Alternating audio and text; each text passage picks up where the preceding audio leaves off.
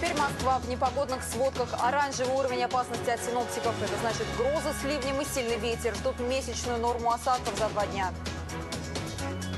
Ростов-на-Дону, Москва. Не рядовой рейс с особенными пассажирами. Спецбор доставил из Донбасса тяжело больных детей и беременную женщину для лечения в лучших клиниках столицы.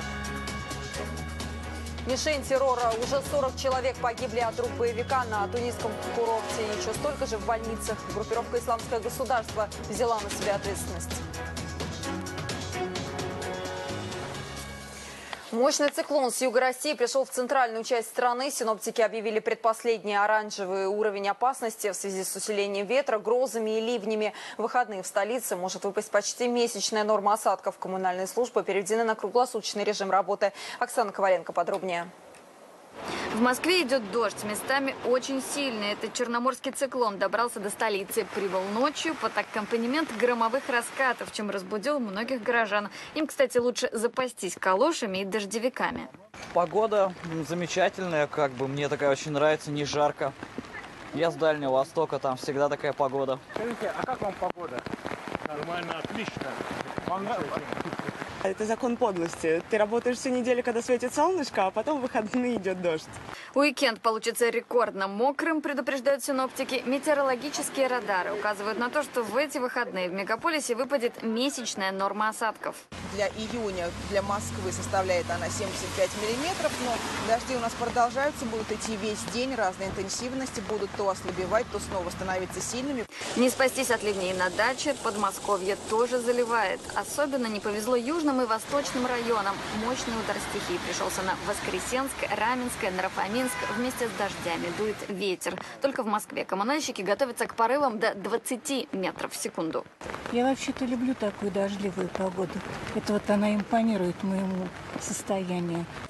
Ненастье несет с собой грозовой фронт с юга. Он уже затопил Краснодарский край, Северную Осетию, Карачаево-Черкесию. Теперь на очереди центральная часть страны. Дожди льют сразу в 10 российских регионах. Гидромедцентр объявил предпоследний оранжевый уровень опасности. Циклонический вихрь по Белградам Ярославскую область сбил с ног Курск. А что он не попьет водички? Плыви давай! Буйки! Под воду ушли Сочи, Воронеж, Липецк. Форда, Форда спасают. А форда нельзя заводить. Ой, вообще молодец. МЧС, в свою очередь, предупреждает, если в вашем городе еще сухо, то запомните, дожди идут к вам. А значит, машину стоит надежно спрятать в гараже или хотя бы подальше от деревьев. Рекламные щиты и вообще любые шаткие конструкции обходить стороной. А лучше всего провести выходные дома. Ливни закончатся не раньше вторника. Оксана Коваленко, Дмитрий Шаракин и Артем Донцевич. ТВ-центр. В Москву спецборд МЧС доставил еще 15 тяжело больных детей из Донбасса, которые нуждаются в срочной медицинской помощи. Маленькие пациенты перенесли полет нормально. В пути их сопровождали врачи отряда Центра Спаса и Всероссийского центра медицины катастроф, а также психологи. Всего за последнее время на лечение в ведущие российские клиники из Донецкой и Луганской областей прибыло более 100 детей. Гульнара Хабирова продолжит. Их транспортировка в российскую столицу – вопрос жизни и смерти. В эти минуты очередной борт МЧС тяжелобольными детьми из Донбасса совершил посадку в аэропорту Домодедово. Теперь первостепенная задача – доставить маленьких пассажиров в медицинские клиники. Из Ростова-на-Дону в Москву они летели почти два часа. Всего на борту самолета 15 маленьких пассажиров с родителями. Это жители Луганской и Донецкой народных республик. И есть среди них и беременная женщина. В полете их сопровождали психологи, спасатели и известная доктор Лиза. Больше 130 детей вывезено. Вот, а, ну, мы не то что близко, мы дружим. И посещаем этих детей, когда вот сейчас приехала новая партия где-то, то, естественно, мы посетили старую, отвезли им лекарства, потому что полная блокада, у них нет ни еды, ни молока, ни одежды, ни тех лекарств, которые даже назначили наши врачи. Пороки сердца, врожденные заболевания и ранения, полученные во время боевых действий. Самыми сложными случаями теперь будут заниматься московские медики. У Кристины из Алачаевска эпилепсия. Дойти до специального реанимобиля самостоятельно пока не получается. По словам мамы Людмилы, без помощи России им сейчас не обойтись. Нету специалистов, в связи с этим мы на обследование Самолет Ил-76, совершивший десятки перелетов с больными детьми, своеобразный летающий госпиталь. На борту специальные медицинские модули и кардиомониторы, поддерживающие состояние пациентов. Благодаря таким технологиям полет маленькие пассажиры перенесли безболезненно. Дети во время полета чувствовали себя хорошо, ухудшения состояния ни у кого нет. Никаких сложностей никогда не бывает, потому что все отработано. Артему из Кировска 14 школьнику, несмотря на болезнь сердца, разрешили пройти в кабину пилота. Теперь этот полет запомнится ему надолго. Я просто в окно посмотрел, и мне предложили зайти. Там так все красиво видно, хорошо. Очень красиво, сверха смотреть. Но очень страшно. В Домодедово пассажиров из Донбасса встретили несколько бригад экстренной медицинской помощи. И без промедления всех повезли в специализированные столичные клиники. Гульнара Хабирова, Владислав Подымский, Максим Мирошниченко, ТВ-центр.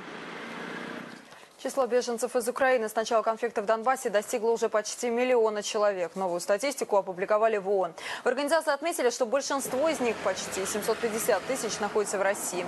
Кроме того, граждане соседней страны направились в Белоруссию, а из европейских государств больше всего украинцев зарегистрировано в Германии, Польше и Италии. Возросло количество и внутренне перемещенных лиц. В ООН констатировали, число тех, кто покидает свои дома, увеличивается после каждого нового обострения конфликта. Сейчас обстановка в регионе по-прежнему по-прежнему напряженная. Обстрелы не прекращаются. Количество военнослужащих в зоне конфликта в Донбассе увеличено до рекордных 60 тысяч человек. Об этом заявил президент Украины Петр Порошенко. В стране проходит уже шестая волна мобилизации. Правозащитники фиксируют многочисленные нарушения. Молодых людей призывного возраста без объяснений причин задерживают прямо на улицах, в метро, в кафе и привозят на сборные пункты. В Харькове военкомы незаконно забрали в армию студентов дневных отделений, несмотря на положенную им отсрочку. Молодых людей увезли в военчасть прямо с медкомиссии. Родители воявленных призывников призывников устроили митинг и заявили, что готовы пойти на штурм, если их детей не освободят. На беспредел военкомов уже отреагировал глава области. Он запретил вручать повестки на улицах и призвал сотрудников военкоматов действовать в рамках закона. Число жертв теракта на тунисском курорте Эль-Кантауи возросло до 40 человек. 39 раненых остаются в больницах. Среди них одна россиянка. По данным МВД Туниса, нападение на отель «Империал Махаба» совершил один человек, 23-летний студент технического вуза. Он был уничтожен во время перестрелки с полицией. Ответственность за преступление на себя взяла террористическая группировка «Исламское государство». Подробности у Сергея Псурцева.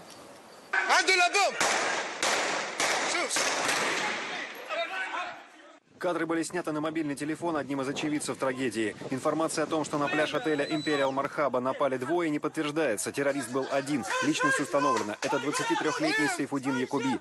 Под видом обычного туриста он проник на пляж отеля. Автомат прятал в чехле от пляжного зонта и неожиданно открыл огонь по отдыхающим.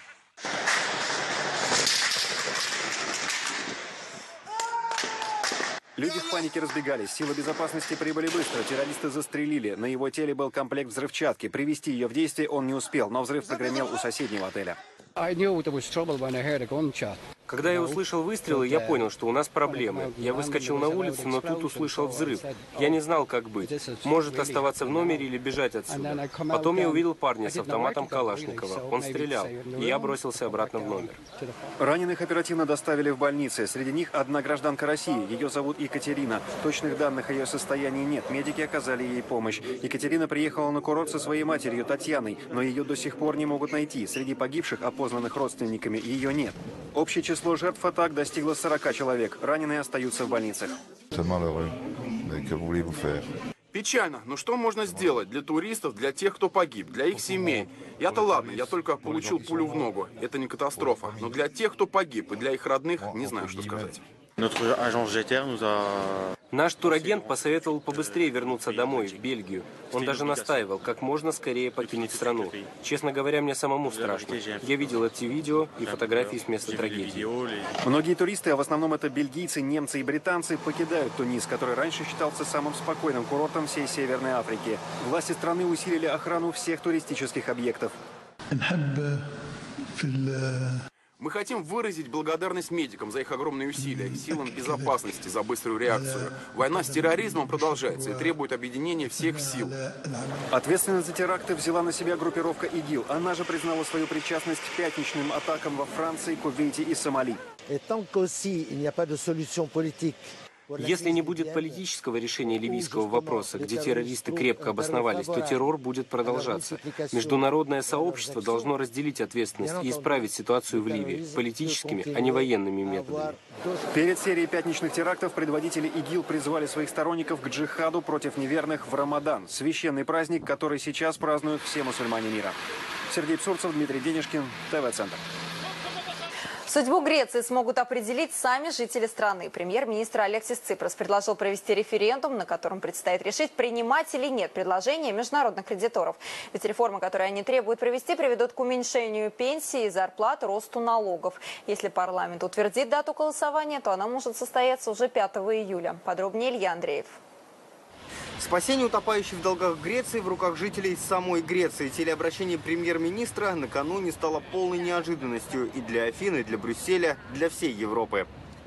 Я буду просить официально от лидеров Европейского Союза, чтобы программу помощи Греции продлили еще на несколько дней, чтобы греческий народ мог сделать свой выбор без давления и шантажа, как предписывает Конституция нашей страны и демократические традиции Европы. Словом, шантаж требования кредиторов в Греции называют уже давно, но премьер-министр его впервые употребил только накануне. Журналисты всю ночь осаждали дворец правительства. Сам Ципрос от дополнительных комментариев отказался. Министр экономики также проигнорировал проигнорировал репортеров. Впрочем, другие члены кабинета предсказуемо поддержали решение своего лидера.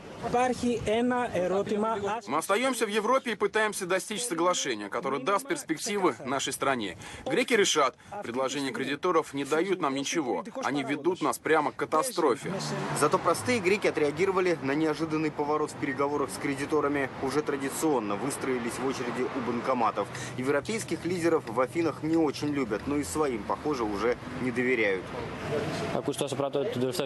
Я не знаю. Я столько всего слышал в последнее время, что просто не понимаю, что тут сказать. Все очень неопределенно. Мы не знаем, с чем столкнемся завтра.